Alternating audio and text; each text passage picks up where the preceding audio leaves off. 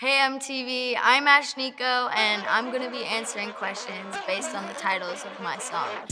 You don't wanna see me bratty, pet the call me caddy, make your man call me daddy. He talk too much, he's too chatty. There's a rumor going around that I was like a Disney Channel star.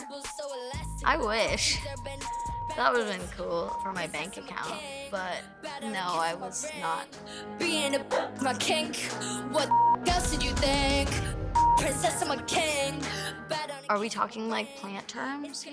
Direct sunlight, um, frequent watering, and I would need to be sung to on a daily basis. Yeah, they blossom in the moonlight. Screw eyes, glacier with the blue eyes. On days where I need to cry, I pick myself up by masturbating. I'm no Cinderella, but I like the shoes. Big glass platforms, choosy. Long blue hair, blue as a To relax and unwind, I like to crochet.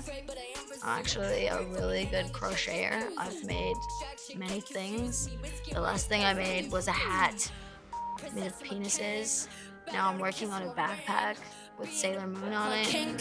What else did you think? I'm a king. Bow down and kiss I am addicted to sour candy.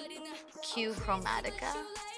I am learning how to pole dance and I used to be a travel TV host.